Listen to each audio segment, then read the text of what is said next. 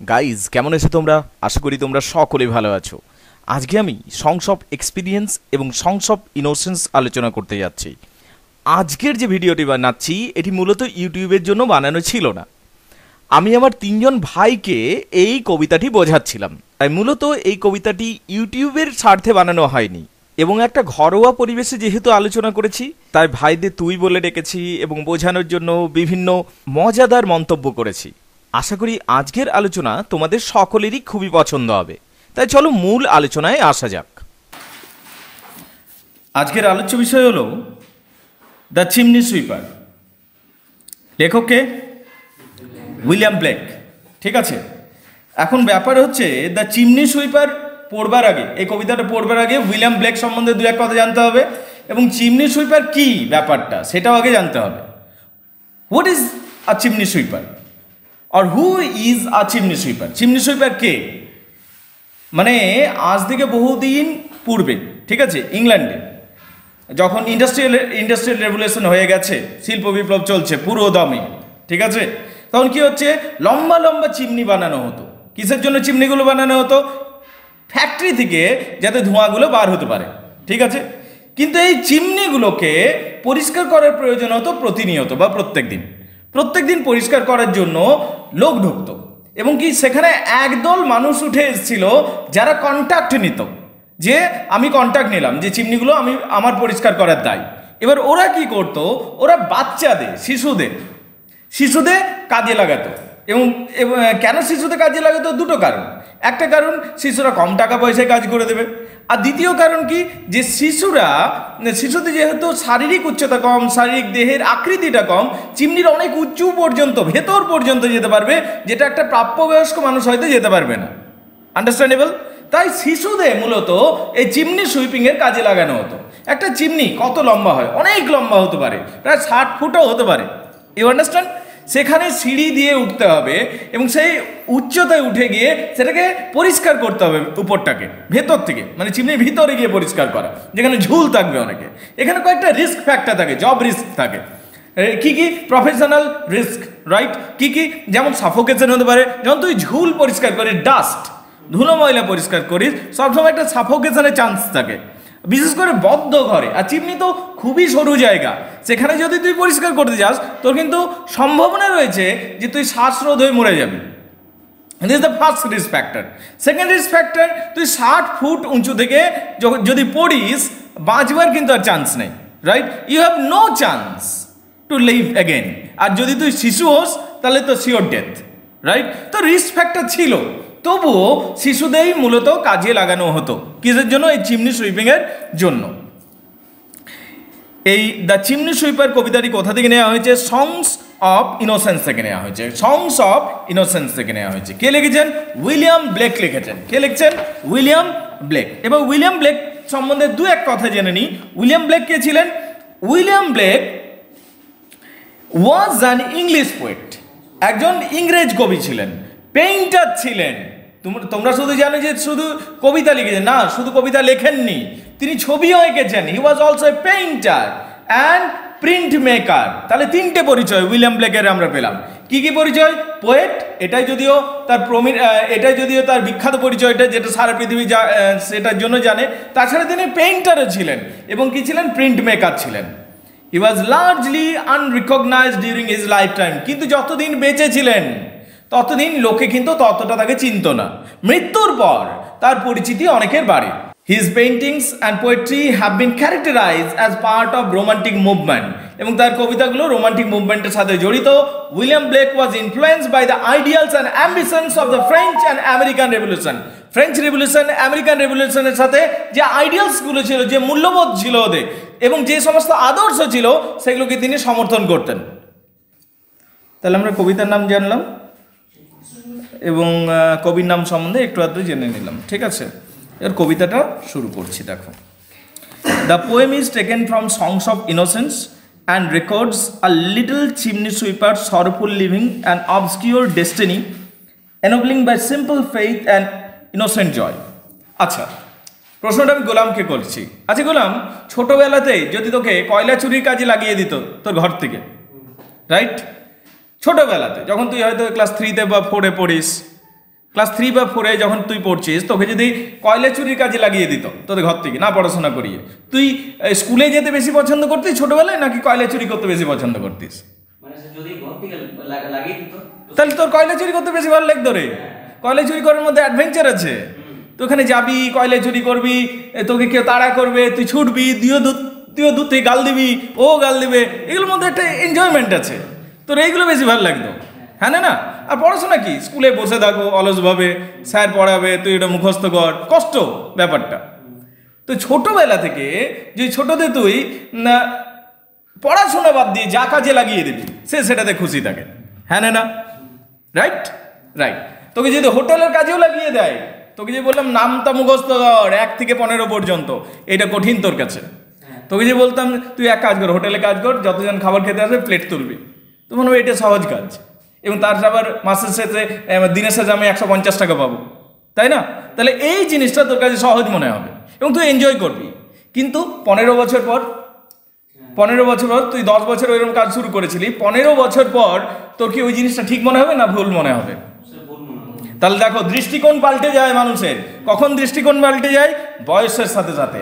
একটা ইম্যাচুয়ার এজে তোর একটা ভিন্ন দৃষ্টিকোণ থাকে, একটা প্রাপ্যবয়স্ক হওয়ার সাথে সাথে তোর দৃষ্টিকোণ পাল্টে যায়। হ্যাঁ না Subhadeep M A right yes যেমন শুভদীপ যখন ক্লাস ফোরে ফাইভে পড়তো শুভদীপ শুভদীপ কি করতো?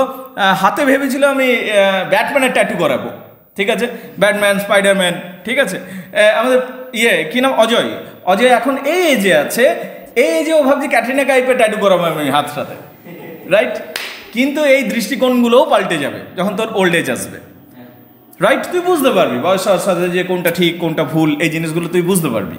আন্ডারস্ট্যান্ড তো এখানে একটা ছোট্ট শিশুর কথা তুলে ধরা হচ্ছে, যে ছোট্ট শিশুটি বুঝতে পারছে না যে তাকে কাজে লাগানো হচ্ছে। কিসের কাজে লাগানো? চিমনি সুইপিংয়ের কাজ। তার তো খেলতে ভালো লাগছে, তার মজা লাগছে, কিন্তু সে জানে না যে তার প্যারেন্ট তার পিতামাতা তার জীবনটাকে নষ্ট করে দিয়েছে।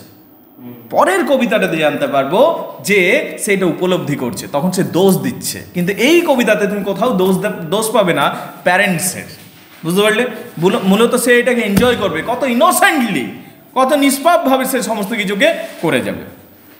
আগে বলো, কবিতার প্রেক্ষাপট পরিষ্কার কিনা? কবিতার প্রেক্ষাপট পরিষ্কার? Okay let's come to the point when my mother died যখন আমার মা মারা গেল I was very young when মানে কি? যখন মাই আমার মাদার মা ডায়েট মারা গেল। যখন আমার মা মারা গেছিল আই ওয়াজ ভেরি ইয়ং আমি ছিলাম আই ওয়াজ ভেরি খুবই ইয়ং মানে ছোট্ট। যখন আমার মা মারা গেছিল, আমি ছিলাম খুবই ছোট্ট। অ্যান্ড মাই ফাদার এবং আমার বাবা সোল্ড মি সোল্ড মানে বিক্রি করে দেয়া সোল্ড মি বিক্রি করে দিয়েছিল আমাকে। ওয়াইল ইয়েট মাই টাং তখনও আমার জীব তখনও ইয়েট ইয়েট তখনও মাই টাং আমার জীব কুড স্কার্সলি কার কুড স্কার্সলি কোনোভাবে স্কার্সলি হার্ডলির কাছাকাছি মানে পারেই না, প্রায় পারতো না। কুড স্কার্সলি ক্রাই তখনও কানতে পারতো না, কি বলতে পারতো না, কি বলতে পারতো না? উইপ উইপ উইপ উইপ দেখো উইপ শব্দটাকে চারবার প্রয়োগ করা হয়েছে। উইপ উইপ উইপ উইপ উইপের আক্ষরিক অর্থ হলো কান্না। আমি তখনও কান্নাটা বলতে পারতাম না। কিন্তু তখন থেকে আমাকে কান্নার কাজে ঢুকিয়ে দেওয়া হয়েছিল। আমি তখনও বুঝতাম না। উইপ কথাটা আমি ঠিক করে বলতে শিখিনি তখন থেকে আমাকে চিমনি সুইপিংয়ে ঢুকিয়ে দেওয়া হলো which is a job of risk কি বুঝতে পারলে? যেটা একটা বিপদের কাজ ছিল। কিন্তু আমি যেহেতু জানতাম না, আমি কান্নাটাও বলতে ঠিক করে শিখিনি ঠিক আছে? তখন থেকে আমাকে কান্নার কাজে, দুঃখের কাজে আমাকে ঢুকিয়ে দেওয়া হলো। এখানে উইপ এতগুলো ব্যবহার করা হয়েছে, চারটা উইপ ব্যবহার করে, তার মানে কতটা এমফেসাইজ করা হয়েছে বোঝো। এটাকে জোর দেওয়ার জন্য বলা- বলা হয়েছে বা চারটা উইপকে লাগানো হয়েছে। একটা উইপ দিয়েও হয়ে যেত হয়তো, কিন্তু সেই এমফেসাইজ মানে জোর পড়াটা হতো না, বুঝতে পারলে? সেই জোরটার জন্য এতগুলো উইপ লাগানো হয়েছে। So your chimneys I sweep তাই ইংল্যান্ডবাসী ইয়োর চিমনিজ তোমাদের চিমনিগুলোকে আমি পরিষ্কার করি, আমি। এখানে আমিটা কে? এখানে একটা ছোট্ট চিমনি সুইপারের কথা বলা হচ্ছে। কোনো একটা ছোট্ট chimney sweeper. And in soot I sleep এবং ওই স্যুট মানে কি? স্যুট মানে ঝুল। ঘরে যে ঝুল জমে না সেই ঝুল। সেই ঝুল নিয়েই আমি ঘুমাই। যখন ও চিমনি সুইপিং করে আসবে, স্বাভাবিকভাবে তার ঝুল লাগবে। এবং সেই ঝুলগুলো তার মধ্যে রয়ে যাবে, সেই ঝুল নিয়েই আমি ঘুমিয়ে যাই। খুব ভোরে ভোরে ওঠানো হতো এদের। একদম ভোর ভোর ভোর তিনটার সময়। ধর কাজ শুরু হবে পাঁচটা থেকে। দু ঘণ্টা আগে থেকে এতে কাজ শুরু হয়ে যেত। তিনটার সময় ভোর ভোর ওঠো, উঠে নিয়ে চিমনি সুইপিং করো, ঠিক আছে? তার কারণ ফ্যাক্টরি যখন থেকে খোলা শুরু হয়ে যাবে, তখন তো আর কাজ করা যাবে না। তো ফ্যাক্টরি শুরু হওয়ার আগে ফ্যাক্টরির কাজকর্ম শুরু হওয়ার আগেই এদের ক্লিনিং করে দিতে হতো প্রত্যেক দিন। এইরকম সিস্টেমটা ছিল বা ব্যবস্থা ছিল। তাহলে আরেকবার দেখে নেওয়া যাক। ওয়েন মাই মাদার ডায়েট যখন আমার মা মারা গেল আই ওয়াজ ভেরি ইয়ং আমি ছিলাম খুবই ছোট্ট and my father sold me আমার বাবা আমাকে বিক্রি করে দিল ওয়াইল ইয়েট মাই টাং তখনও আমার জীব কুড স্কার্সলি ক্রাই বলতে শিখেনি ঠিক করে উইপ উইপ উইপ উইপ কান্না কথাটা বলতে শিখেনি ঠিক কি করে মানে ওর দুঃখটা বোঝানোর জন্য, ব্যথাটা বোঝানোর জন্য পেনটা বোঝানোর জন্য উইপ কথাটাকে প্রয়োগ করা হয়েছে। সো ইয় চিমনিজ আই সুইপ তাই আমি তোমাদি চিমনিগুলোকে সুইপ করি, আমি হলাম একটা ছোট্ট chimney sweeper and in soot I sleep এবং এই, এবং ঝুলের মধ্যে আমি ঘুমাই, ঝুলের মধ্যে আমি ঘুমাই। There is little Tom Dacre ওর বন্ধুর নাম টম ড্যাকরে ওর বন্ধুর নাম কি? টম ড্যাকরে বুঝতে পারলে? There is little Tom Dacre ঠিক আছে? সম্ভবত সম্ভবত কোন একটা ফিলো চিমনি সুইপার হবে।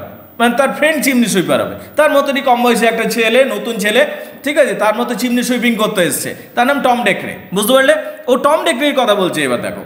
There is little Tom Dacre আমাদের এখানে লিটল টম ডেকরে আছে।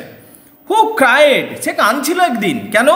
ওয়েন ইজ হেড তার মাথাটা that curl like lamb's back তার মাথাটাকে ন্যাড়া করে দেওয়া হলো। কেমন ভাবে ন্যাড়া করে দেওয়া হলো? সেভিং করে দেওয়া হলো। তোমরা যেমন সেভিং করো, ঠিক তার মাথাটাকে সেভিং করে দেওয়া হলো। কেমন?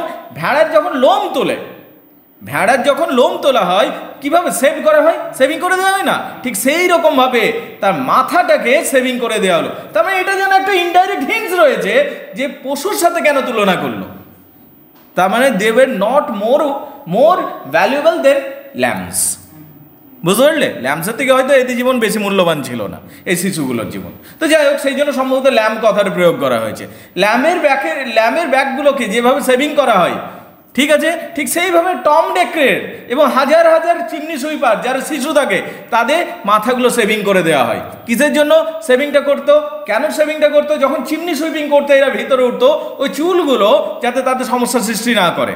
বুঝতে পারলে? অনেক সময় চুলের কারণবশত অ্যাক্সিডেন্ট ঘটতো। চুল ঠিক ঠিক করতে গিয়ে প্র্যাকটিক্যালি রাইট অনেক সময় পড়ে যেত, চুলগুলো ডাটি হয়ে যেত এবং সেখান থেকে ডাস্ট ক্যাচ করতো চুলগুলো। সেই জন্য চুলগুলো এতে কেটে দেওয়া হতো। বুঝতে পারলে কিনা? ওটাই বলছে। যখন ওই লিটল টম ড্যাকরি এলো এবং তার চুলগুলো কাটা হচ্ছিল, সে কাঁদছিল। There is little Tom Dacre এখানে টম ড্যাকরি রয়েছে হু ক্রাইড যে কেঁদেছিল। When his head that curl like lamb's back যখন তার চুলটা কেটে দেওয়া হচ্ছিল, তখন সে কাঁদছিল। কার মতো করে কাটছিল? ল্যাম্পের ব্যাক যেভাবে ভেড়ার যেভাবে লোম তোলা হয়, ঠিক আছে? ঠিক সেইভাবে যখন তার চুলগুলোকে তুলে দেওয়া হচ্ছিল, কেটে ফেলা হচ্ছিল, সে কাঁদছিল। ওয়াজ সেভড সেভড সেভিং করে দেওয়া হচ্ছিল। বুঝতে পারলে? সো আই সেড তাই আমি তাকে বললাম, আমি বললাম ওই ছোট্ট চিমনি সুইপার যে কবিতাটা বলছে, সে বলছে সো আই সেড আমি বললাম হাস টম চুপ কর টম চুপ কর নেভার মাইন্ড ইট এটা নিয়ে কিছু ভাবিস না। For when your head is bare তোর যখন মাথাটা ন্যাড়া হয়ে গেল বিয়ার মানে ন্যাড়া মাথা, ঠিক আছে? You know the soot can not spoil your hair তুই তো জানিস যে তোর ন্যাড়া হয়েছে, ভালোই হয়েছে, যে ঝুলগুলো তো চুলটাকে নষ্ট করতে পারবে না তোর ভালোই হয়েছে। এই বলে আমি সান্ত্বনা দিলাম। বুঝতে পারলে? আমার বন্ধু Tom, Tom ডেকরেকে। There is little Tom Dacre আমাদের এখানে টম ডেকরে আছে হু ক্রাইড যে কেঁদেছিল হোয়েন হিজ হেড যখন তার মাথাটা that curl like lamb's back was shaved যখন তার মাথাটাকে সেভিং করে দেওয়া হলো, ল্যামের পিঠের মতো। যেভাবে একটা ভেড়ার লোমগুলো সেভিং করে দেওয়া হয়, ঠিক সেইভাবে তার চুলগুলোকে সেভিং করে দেওয়া হলো, এবং তখন সে কেঁদেছিল। সো আই সেড আমি তখন তাকে বললাম, হাস, টম টম তুই চুপ কর। নেভার মাইন্ড এটা কিছু মনে করিস না। তোর চুল কাটলে কি হলো? এটা কেন মনে করছিস? এটা কিছু মনে করিস না রে। When your head is bare যখন তোর মাথাটা বেয়ার ন্যাড়া হয়ে গেল ওয়েন ইওর এই যে হাস হাস মানে চুপ কর। টম ছেলেটার নাম নেভার মাইন্ড মানে কোনোদিন মনে করিস না নেভার মাইন্ড এটা নিয়ে কিছু মনে করিস না রে কোনোদিন, যে তোর চুল কেটে দেওয়া হলো। এটা কেন ভাবছিস? তোর ভালোর জন্য কাটা হয়েছে। এইটা আমি বোঝানোর চেষ্টা করলাম। ফর হোয়েন যখন ইয়োর হেড ইজ বেয়ার যখন তোর চুলগুলো ন্যাড়া করে কেটে দেওয়া হয় ইউ নো তুইও জানিস that the soot can not spoil your white hair তোর যে সাদা সাদা সুন্দর সুন্দর চুল রয়েছে, ঝুলগুলো আর সেই চুলগুলোকে নষ্ট করতে পারবে না। তো এটা ভালোই হয়েছে। এই বলে আমি তাকে সান্ত্বনা দিলাম। মানে একটা ছোট্ট চিমনি সুইপার তার বন্ধু চিমনি সুইপারকে সান্ত্বনা দিচ্ছে। তখন তার চুল কেটে দেওয়া হয়েছিল এবং কাঁদছিল সে। তখন সে এইভাবে চুপ করাচ্ছে। রাইট মানে তাদেরকে চুপ করানোর জন্যও বড় কেউ নেই। ছোট দিকেই ছোট দিকে চুপ করাতে হচ্ছে। বুঝতে পারলে? And so he was quiet তাই সে কোয়েট তাই সে চুপ করল আমার কথা শুনে। অ্যান্ড দ্যাট ভেরি নাইট এবং সেই রাত্রিতে as Tom was as sleeping Tom Dacre যখন ঘুমাচ্ছিল টম যখন ঘুমিয়ে পড়ল he had such a sight সে একটা অপূর্ব সুন্দর দৃশ্য দেখলা। কি সুন্দরই না দৃশ্য দেখেছিল সে সেদিন। সেদিন সে যখন ঘুমিয়ে পড়ল, সে একটা কি সুন্দর দৃশ্য দেখল। দেখো, আরেকবার লাইনটা বলছি। And so he was quiet say quiet সে শান্ত হলো। আমার কথা শুনে, আমার কথা, আমার লজিকটা শুনে যে তো চুলগুলো নষ্ট হবে না তো সাদা সুন্দর চুলগুলো নষ্ট হবে না, তাই কেটে ফেলা হয়েছে। অ্যান্ড দ্যাট ভেরি নাইট সেই রাত্রিতে as Tom Tom was as sleeping Tom যখন ঘুমিয়েছিল he had such a sights একটা সুন্দর স্বপ্ন দেখল, সুন্দর দৃশ্য দেখল কি? তার থাউজেন্ড অফ সুইপার্স হাজার হাজার, সে স্বপ্নের মধ্যে এটা দেখছে, এটা তার স্বপ্নটা কি? দ্যাট থাউজেন্ডস অফ সুইপার্স হাজার হাজার সুইপার্স। তার মতো চিমনি সুইপার একটা দুটো নয়, হাজার হাজার চিমনি সুইপার্স। কি করছে? ডিগ, জো নিট জ্যাক, তাদের মধ্যে ডিগ রয়েছে, জো রয়েছে নিট রয়েছে, জ্যাক রয়েছে, এগুলো কমন ইংলিশ নেম বুঝতে পারলে? কমন বয়েজ রয়েছে। Were all of them locked up in coffin of black তার সকলে কফিনের মধ্যে, কালো কফিনের মধ্যে তার বন্দি ছিল। তার চিমনি সুইপার্সগুলো কিসের মধ্যে বন্দি ছিল? কালো কফিনের মধ্যে বন্দি ছিল। কফিনটা রিপ্রেজেন্ট করছে রিস্কি জবকে। কফিনটা কি রিপ্রেজেন্ট করছে? Risky job. এটাকে রিপ্রেজেন্ট করছে। তাদের জবটা মানে তারা যে চিমনিতে উঠে নিয়ে পরিষ্কার করতো, এটা যেন সেই নেক্সট টু কফিন ছিল, বুঝতে পারলে? পড়ে গেলেই কফিনে চলে যাবে। সেই জন্য সে স্বপ্নের মধ্যে দেখছে কি? ডিক জো নিট জ্যাক এরা সকলে কফিনের মধ্যে শুয়ে আছে। এবং কি করছে? কফিনে থাউজেন্ড অ্যান্ড থাউজেন্ড সুইপার্স তার মতো। কম বয়সী সুইপার্সরা সব কফিনের মধ্যে রয়েছে। Were all of them locked up in coffin of black তার সবাই লকড হয়ে আছে। কোথায়? কফিন, কালো কফিনের মধ্যে লকড হয়ে আছে। এইটা সে স্বপ্নে দেখল। কিন্তু কি? তারপর কি দেখল? And by came an angel তারপর একটা দেবদূত এলো। অ্যান্ড এবং বাই কেম অ্যান অ্যাঞ্জেল তারপর এলো একটা দেবদূত। কেম অ্যান অ্যাঞ্জেল একটা দেবদূত এলো। অ্যাঞ্জেল মানে দেবদূত। হোয়াট এ ব্রাইট কি যার একটা উজ্জ্বল চাবিকাঠি ছিল, যার হাতে একটা উজ্জ্বল চাবিকাঠি ছিল, যার হাতে একটা উজ্জ্বল চাবিকাঠি ছিল। অনেকে বলেন সেই সময় একটা আন্দোলন শুরু হয়েছিল, মৃদু, খুব একটা জোরালো ছিল না আন্দোলনটা। কিন্তু সেই আন্দোলনটাতে বলা হচ্ছিল চিমনি সুইপিংটা বন্ধ হোক শিশুদের দ্বারা।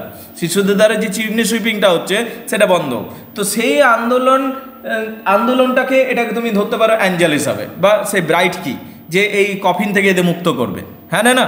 ঠিক। And by came an angel একটা অ্যাঞ্জেল এলো, এইগুলো সব স্বপ্নের মধ্যে দেখছে সে। এগুলো সব কিসের মধ্যে দেখছে? স্বপ্নের মধ্যে। By came an angel who had a bright key যার হাতে একটা উজ্জ্বল চাবিকাঠি ছিল and he open the coffin সে কফিনগুলো খুলতে শুরু করল এবং সমস্ত শিশুদের সে মুক্ত করতে শুরু করল কফিন থেকে।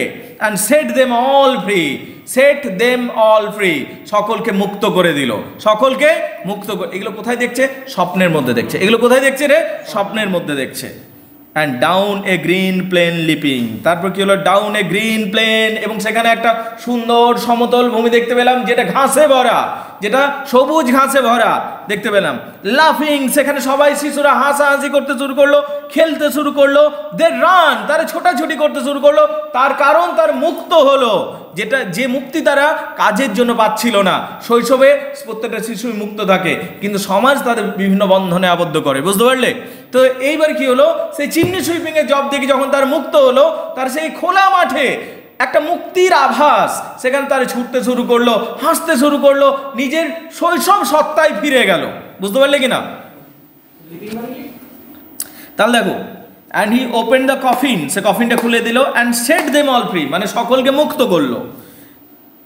Then down a green then down a green plain leaping তারপর কি একটা সবুজ সমতল ভূমি দেখতে পেল, যেখানে এরা শিশুগুলো কি করল? লিপিং করতে শুরু করল। লিপিং মানে লাফাতে শুরু করল। আনন্দে লাফাচ্ছে। ছাগল ছানার মতো লাফাতে শুরু করল। লাফিং হাসতে শুরু করল। অ্যান্ড দে রান তারা ছোটাছুটি শুরু করল। And was in a river এবং ওখানে একটা নদীও ছিল। এবং সেখানে তারা স্নান করল। শিশুরা কি করল? স্নান করল। And shine in the sun এবং কি করল? সূর্যের আলোতে তারা চকচক করে উঠতে লাগল। যেটা সম্ভব ছিল না ওই চিমনি সুইপিং ওয়ার্কিংয়ের জন্য। চিমনি সুইপিং হওয়া, চিমনি সুইপার হওয়ার জন্য তারা চকচক করে উঠতে পারছিল না, ধুলে, ধুলায়, ঝুলে তারা ভরে ভরে থাকতো। সেখান থেকে তারা কি হলো? স্নান করার পর চকচক করতে লাগলেন মানে শিশুদের যে অসীম সম্ভাবনা রয়েছে, সেটা মুক্তি পেল। কিসের দ্বারা? যখনই তারা ওই চিমনি সুইপিং এর মতো ডেঞ্জারাস জব দিতে গিয়ে তারা মুক্তি পেয়ে গেল। হ্যাঁ না? And wash in a river and shine in the sun তার জলে স্নান করল এবং এবং কি? সূর্যের আলোয় চকচক করতে লাগল। এ পর্যন্ত বলো পরিষ্কার হয়েছে কিনা? ক্লিয়ার দেন ন্যাকেড তারপর তারা তাদের পোশাকগুলো খুলে ফেলল। দেন ন্যাকেড তারপর তারা নগ্ন হলো। মানে পোশাকগুলো খুলে ফেলল। কোন পোশাকগুলো? চিমনি সুইপিং এর পোশাকগুলো। যেগুলো তাদের দিকে বাঁধনে আবদ্ধ করেছিল। সেই পোশাকগুলোকে খুলে ফেলল। অ্যান্ড হোয়াইট এবং কি তারা উজ্জ্বল হয়ে উঠল। হোয়াইট মানে এখানে ব্রাইট বেসিক্যালি ঠিক আছে? উজ্জ্বল হয়ে উঠল। All their bags left behind তারা নিজেদের সমস্ত ব্যাগগুলোকে, বোঝাগুলোকে, সবগুলোকে পিছনে ফেলে দিল। তার সমস্ত ব্যাগ, বোঝাগুলোকে পিছনে ফেলে দিল। They rise up upon clouds তারা এরপর উঠতে শুরু করল ক্লাউডে স্বপ্ন দেখছে তো শিশুটা? তারা স্বপ্নে দেখছে, সেই শিশুর স্বপ্নে দেখছে যে হাজার হাজার শিশু যারা কফিনে আবদ্ধ ছিল এবং চিমনি সুইপিং করতো, তারা সবাই মুক্ত হয়ে গেছে, স্নান করার পর উজ্জ্বল হয়ে গেছে এবং সবাই অ্যাঞ্জেল হয়ে যেন উঠতে শুরু করেছে। শিশুরা অ্যাঞ্জেলেই হয় বাই দেবে and sports in the wind বাতাসে তারা খেলছে। বাতাসে কি করছে তারা? খেলছে। And then and the angel told Tom সেই অ্যাঞ্জেলটা যে মুক্ত করল এদের, সে টমকে বলল এসে নে টম ড্যাকরে কি বলছে? If you'd be a good boy তুমি যদি ভালো ছেলে হও he would have God for his father ঈশ্বর তাহলে তোমার পিতা হবেন। তুমি যদি ভালো ছেলে হয়ে থাকো, ঈশ্বর তোমার পিতা হবেন। গড ইজ ফাদার বুঝতে পারলে? অ্যান্ড নেভার ওয়ান জয় এবং তোমার কোনোদিন আর জয়, আনন্দর প্রয়োজন হবে না। তুমি এত বেশি আনন্দিত থাকবে সব সময় যে তোমার কোনোদিন আর আনন্দ চাওয়ার প্রয়োজন হবে না। যদি তুমি ভালো ছেলে হয়ে থাকো God will be your father and your life will be fulfilled with joy and pleasure so you will we will you will want never joy তোমার আর কোনো দিন প্রয়োজন হবে না যে আমার আরও আরও বেশি আনন্দ চাই। তার কারণ তোমার জীবন আনন্দে পরিপূর্ণ হয়ে থাকবে। এটা বলল অ্যাঞ্জেলটা। এবারে দেখ। দেন ন্যাকেড অ্যান্ড হোয়াইট তারপর তারা পোশাক খুলে ফেলল এবং তারা সবাই উজ্জ্বল হয়ে উঠল। অল ব্যাগস লেফট বিহাইন্ড তারা সমস্ত ব্যাগগুলোকে পিছনে ফেলে দিল। They rise up on the clouds তারা মেঘের উপরে উঠতে শুরু করল। And sports in the wind এবং তারা বাতাসে খেলা করতে শুরু করল। And the angel told Tom এবং এই দেবদূতটা টমকে ডেকে বলল টম ডেকে যে কান ছিল প্রথমে, মনে আছে? তাকে বলল টম বলল, Tom if you would be a good boy টমকে ডেকে বলছে if you would be a good boy তুই যদি ভালো ছেলে হয়ে থাকিস he would have God for his father তাহলে তুই তোর পিতা হিসাবে গডকে পাবি। তোর বাবা তো তোকে পাঠিয়ে দিয়েছে ছোটবেলাতেই, কিন্তু তুই চিন্তা করিস না, তুই ভালোভাবে থাক, গড তোর ফাদার হবে এবং তোকে অনেক খুশি রাখবে এবং তোকে এতটা খুশি দেবে যে তোর কোনো দিন আর খুশির খুশি চাইতে হবে না। বুঝতে পারলি কি না এইটা বলল। অ্যান্ড সো টম অ্যাওক তাই এরপর টম জেগে উঠল। And we rose in the dark এবং আমরা সকলে জেগে উঠলাম সেই অন্ধকারে। আমরা সকলে, আমরা বলতে এখানে সমস্ত chimney sweeper children chimney sweeper সমস্ত আমরা আমরা সবাই জেগে উঠলাম। ঠিক আছে? তো সো টম অ্যাওক টম এরপর জেগে উঠেছিল। And we rose in dark এবং আমরাও জেগে উঠেছিলাম সেই অন্ধকার মুহূর্তে। অন্ধকার মুহূর্ত ভোরবেলা, একদম ভোর ভোর হওয়ার আগেরটাতে। ঠিক আছে? And got with our bags আমরা সবাই প্রস্তুত হয়ে গেলাম হঠাৎ করে ব্যাগ ব্যাগ নিয়ে সাইরেন বেজে উঠেছে, কাজে যেতে হবে, বুঝতে পারলি কি না আমরা সবাই প্রস্তুত হয়ে গেলাম ব্যাগ নিয়ে অ্যান্ড আওয়ার ব্রাশেস এবং ব্রাশগুলোও নিলাম, যেগুলো দিয়ে ঘষে মেজে ভিতরটা পরিষ্কার করতে হবে, চিমনির ভিতরটাকে পরিষ্কার করতে হবে টু ওয়ার্ক আমরা কাজের জন্য প্রস্তুত হলাম। টমও ছিল এবং হাজার হাজার চিমনি সুইপার্সরাও ছিল। তাহলে দেখো অ্যান্ড শো টম অ্যাওক তাই টম জেগে উঠেছিল। স্বপ্ন শেষ হলো টম জেগে উঠেছিল। And we rose in dark আমরাও জেগে উঠেছিলাম। ডার্ক কেন বলছে? ভোরের আগেই। অন্ধকার মুহূর্ত, তো ডার্কে জেগে উঠেছিলাম। And got with our bags আমরা আমাদের ব্যাগসগুলো নিলাম। অ্যান্ড উইথ আওয়ার ব্রাশেস এবং আমরা আমাদের ব্রাশগুলো নিলাম, যেটা দিয়ে পরিষ্কার করব ভেতরটা। To work though the morning was cold যদিও সেদিন শীতল ছিল সকালটা, যদিও সেদিন সকালটা শীতল ছিল, ঠান্ডা ছিল। Tom was happy and warm Tom যেহেতু এত সুন্দর একটা স্বপ্ন দেখেছে, ও কিন্তু তখন হ্যাপি অ্যান্ড ওয়ার্ম ছিল। ও কিন্তু খুব মনে মনে হ্যাপি অ্যান্ড ওয়ার্ম ছিল।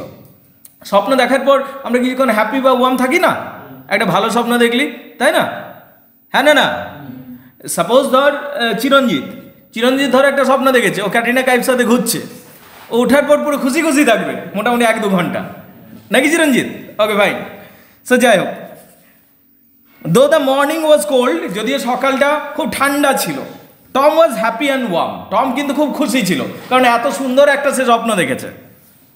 So if all do their duty তাই বলি যদি সকলে নিজেদের কাজগুলো করে, সে ভাবলো if all do their duty সবাই যদি নিজেদের কাজগুলো ঠিকঠাক করে করে দে নিড নো ফেয়ার হাম তাহলে তার, তাহলে তাদের এই শিশুগুলোর ক্ষতির কোনো ভয় থাকবে না।